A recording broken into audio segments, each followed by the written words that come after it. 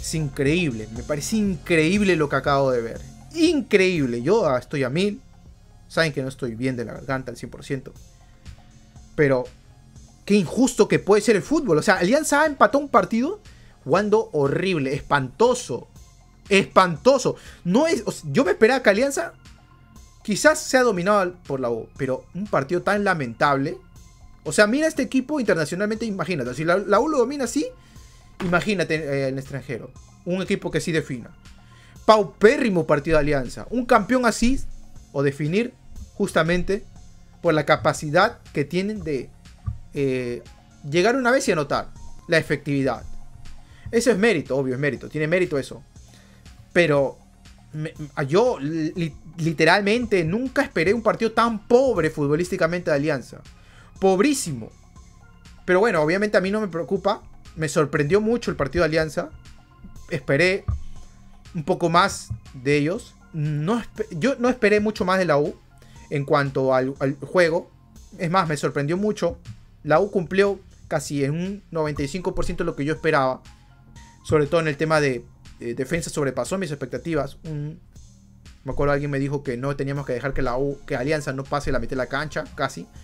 No, no, lo hizo. Tú le das a Carvalho el comercio. El comercio hizo la leía completo.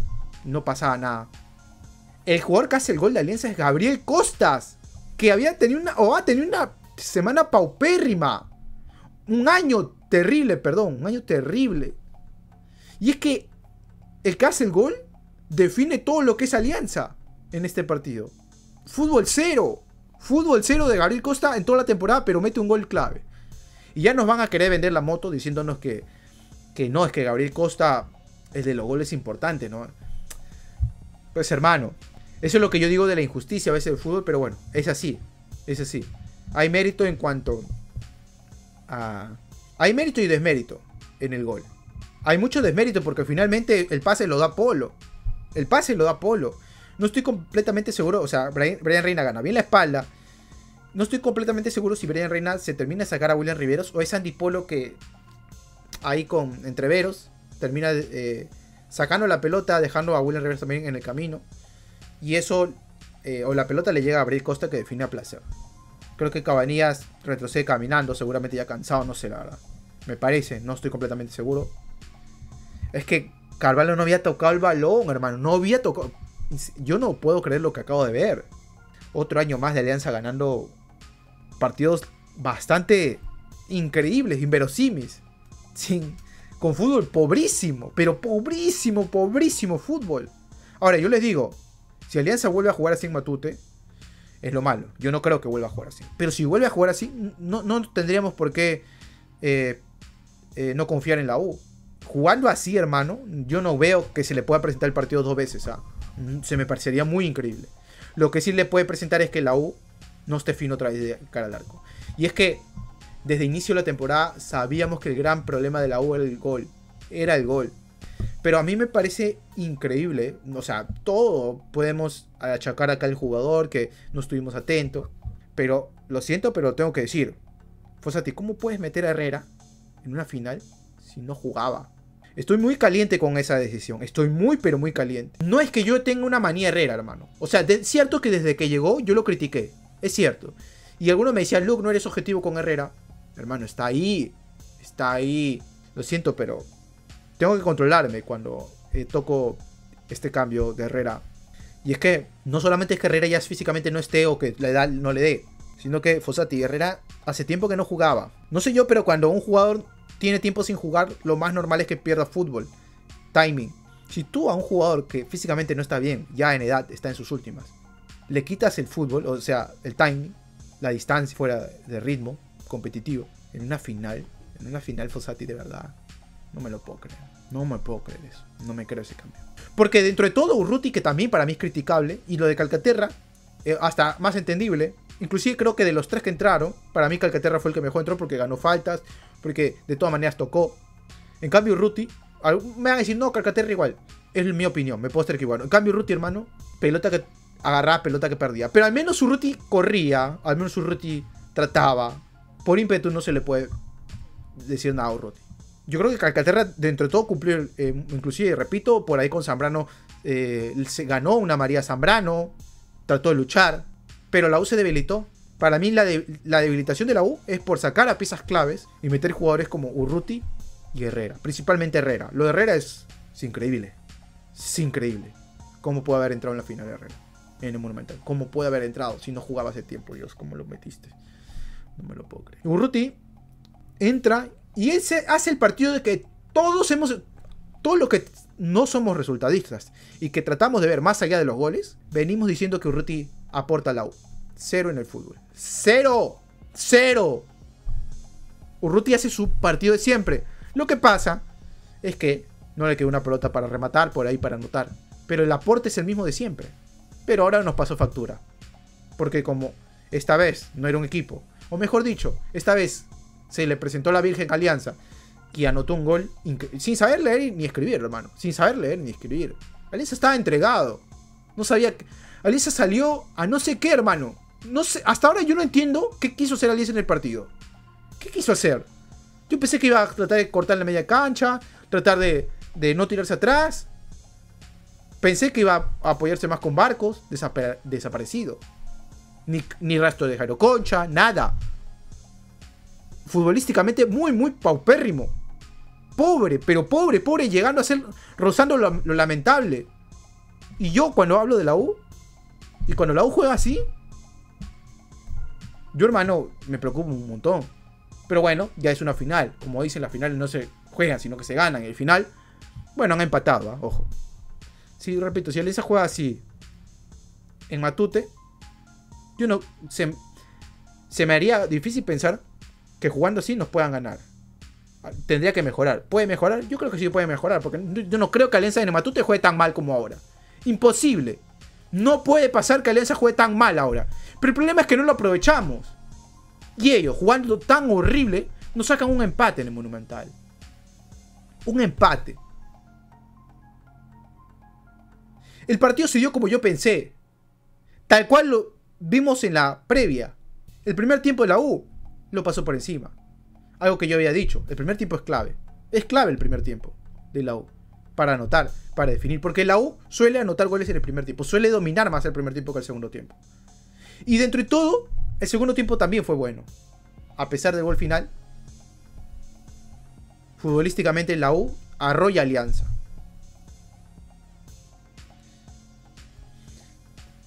Estoy muy caliente por la decisión de Fossati de los ingresos. Y, y lo que sí me preocupa y mucho es la falta de efectividad del lado Y ya, ya no. Es que. El problema es que ya no podemos hacer nada. Porque acá me van a decir. Necesitamos otro 9, hermano. Es el último partido de la temporada, hermano. Es lo que tenemos. Herrera es lo que tenemos. Valera es lo que tenemos. Zúcar es lo que tenemos.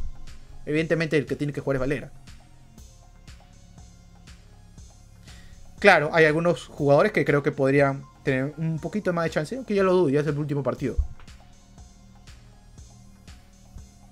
Yo vuelvo a decirlo, el Tunche no es menos que Urruti. Lo que pasa es que Urruti, sí, la ha mandado adentro más veces, también teniendo más minutos, más chances. Pero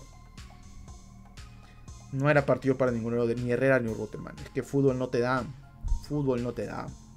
Y la U para ganar necesita jugar bien. Alianza no, Alianza está más que visto que jugando horrible a veces gana. La U no. La U para ganar necesitamos jugar bien se ha visto toda la temporada que cuando la U juega mal, normalmente, salvo excepciones, pero normalmente terminamos perdiendo. La U para ganar necesita jugar bien. No tenemos eso de alianza que, ah, nos salvamos palo, ah, es que el portero figura, ah, que, mm, no sé, el rival se falla los goles y llegamos una vez y ping. De esos partidos tendremos, pero uno o dos por ahí. Muy poquitos. Alianza, muchos partidos ganando al final, jugando horrible. Entonces, si necesitamos jugar bien, juguemos bien. La U debía sacar el resultado y estuvo a punto de sacar el resultado.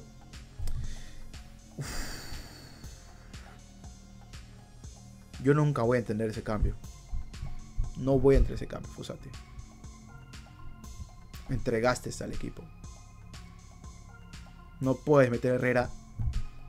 Perdón, estoy muy caliente. No puedes meter Herrera sin haber jugado hace tiempo. Y con el físico, con el físico que tiene. Y con la falta de fútbol ahora. No lo puedes haber metido. Tienes que. Tenemos que entender que Urruti no puede renovar en la U. Yo no me la he fijado con Urruti como muchos dicen. Yo soy crema. Amo la U. Trato de ser objetivo, es lo que pasa. Cuando Urruti juega bien lo digo y cuando Urruti juega mal lo digo. Y si yo veo o creo que Urruti, a pesar de que tiene un aporte muy bueno y que nos ha ayudado con sus goles a llegar a esta final, obvio, lo voy a decir. Pero eso no quiere decir que yo estoy diciendo que renueve, hermano. Igual que Carvalho, cuando digo Carvalho, eh, ha mejorado el último tramo. Eso no significa que yo estoy diciendo que renueve, hermano. Yo estoy diciendo las cosas que son. Los hechos. Pero de ahí a que renueve, es otra cosa. Para mí lo tengo bien claro. Yo lo tengo bien claro.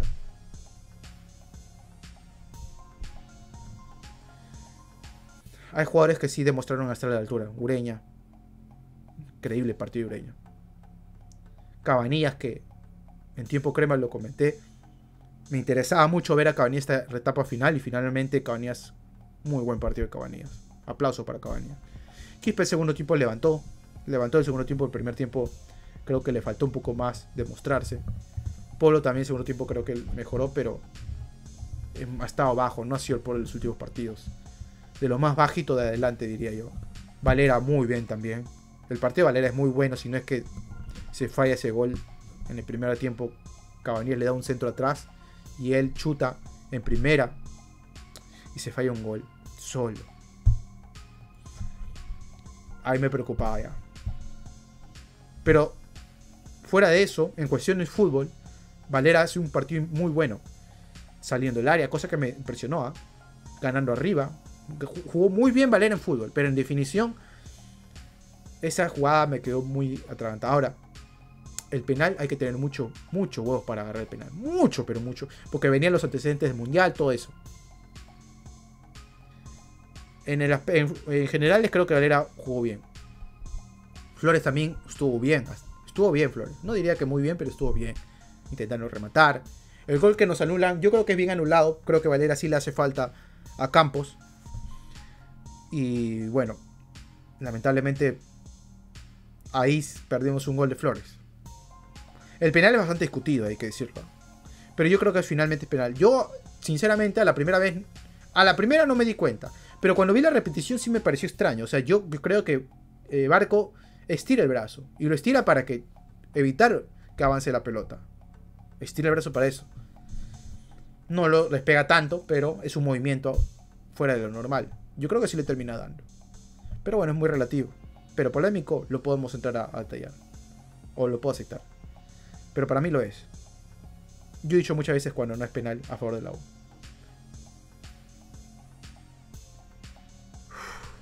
Es difícil de procesar este empate porque me parece muy injusto. Muy, muy injusto. Muy injusto, pero también se da de la manera de. Una manera. Uh, que uno podía esperar el partido no tan marcado. O sea, yo nunca me esperé que la U domine tanto Alianza. Eso sí, no esperé que la U pueda dominar tan. De tal manera Alianza. Pero sí me, me preocupaba un poco la falta de gol. Me preocupaba mucho la falta de gol. Por eso yo marqué esto de los goles en el primer tiempo. Yo esperaba que la U pueda ganar, o creo que podía haber ganado con una diferencia de dos goles. Me dirán, ¿cómo si no tenemos gol? Porque la U lo ha hecho. Es que la U muchas veces ha podido meter más de tres goles, cinco goles, y ha terminado metiendo dos nomás. O sea, la diferencia de dos goles no era tan rara para la U, y en el trámite creo que se dio. Para mí el trámite, la diferencia de goles se pudo haber dado. Se pudo haber dado. Ahora, otra cosa. ¿Alianza tiene algún mérito? Sí, tiene mérito, sobre todo la definición. Llega uno y la metió. ¿no? Eh, pero, hermano, tampoco nos engañemos. Alianza ha empatado sin saber leer ni escribir. O sea, el mérito es muy mínimo. El mérito está en el gol. Pero Alianza se pudo haber ido sentenciado a Matute tranquilamente. Pero bueno, eso es tema de ellos. Yo espero que vuelvan a jugar así Matute. Realmente lo espero. Porque si juegan así, tenemos muchas chances de, quedarnos con el resultado de Matute.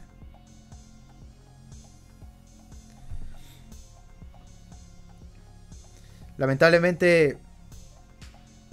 Lamentablemente no. No nos quedamos con el partido, el resultado. Yo sigo, me sigue pareciendo increíble este, este partido. Me parece increíble. Y es que, perdón que lo diga así, ah, pero lo voy a decir porque lo hemos visto Alianza en Libertadores y a la U en Sudamericana. Internacionalmente, la U compitió mejor que Alianza. Me dirán otros rivales, lo que sea. Lo que sí es que no podemos dejar que se campeone así en el fútbol peruano. No podemos dejar. Le hace mal al fútbol. Alianza ha jugado horrible, hermano. Horrible. Me esperé algo mucho más parejo. Es como cuando nosotros jugamos con Sporting Cristal en el 2020. Y la primera final la jugamos horrible. Espantoso. Y tú decías.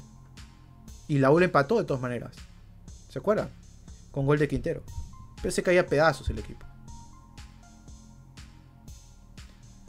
Si el fútbol es justo, espero que en, la, Matute la U pueda sacar el resultado.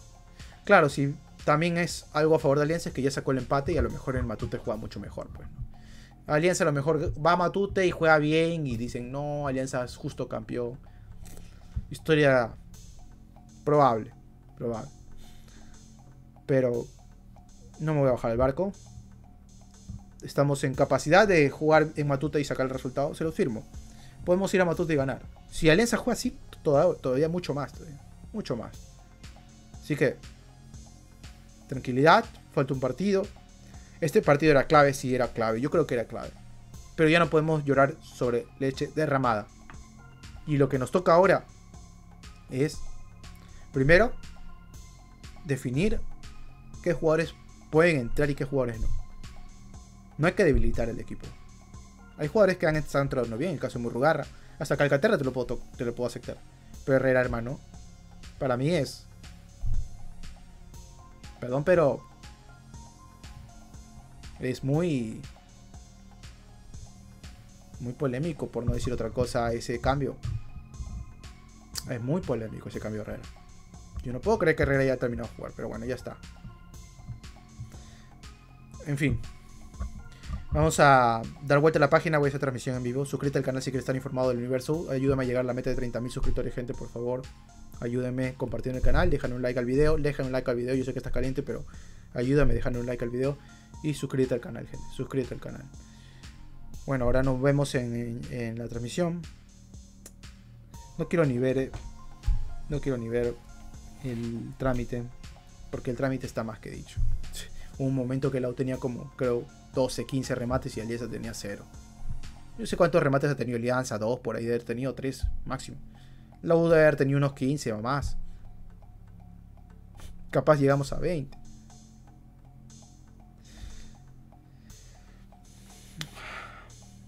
El fútbol es muy injusto, pero a veces es muy injusto. Pero yo voy a seguir con mi convicción. Lau tiene que ir a Matute y jugar bien. Si Lau juega bien en Matute y juega similar, podemos campeonar en Matute. Podemos campeonar Matute. Hay algo que sí quiero resaltar de este partido y que me queda como esperanza y, y un poco a resaltar. Es que si bien no es el resultado que yo me esperaba, yo había dicho que este partido era, era importante, teníamos que ganar, era clave. No fue lo que yo me esperaba y por ende muchos podrían decir, pero Luke, esto significa que ya fue no.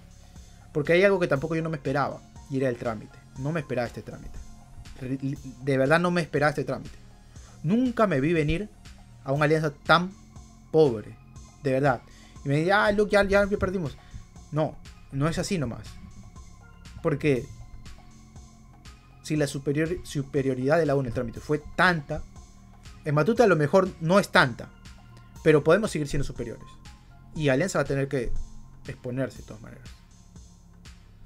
Es otro partido. El trámite me ha movido totalmente lo que tenía en mente. Que era la U jugando bien en el Monumental y Alianza jugando bien en Matute. Pero un jugar bien de la U y Alianza siempre en paridad. Este partido no se parejo para nada. El marcador ha sido parejo, el trámite no. El trámite fue de la U y bueno, eso es lo único que me queda esperar que Alianza vuelva a repetir este partido y que la U repita un partido similar. Si Alianza mejora, que yo creo que es muy probable también, objetivamente Yo no creo que Alianza, repito, vuelva a ser un partido tan triste. Yo creo que Alianza va a tratar de hacer las cosas. Va a tratar y creo que la va a hacer mejor. Pero vamos a ver hasta dónde le, le, da para eso. Hasta dónde le da. Vamos a ver. Pero bueno. Por cierto, Zambrano, hermano, le están dejando hacer lo que quiere a Zambrano. Le dejan hacer lo que quiere a Zambrano. Yo no sé qué, esperan que agarre y fracture a Quispe o qué, pero hermano, cada vez que he visto a Zambrano, mínimo se la deja a un jugador, pero va con una...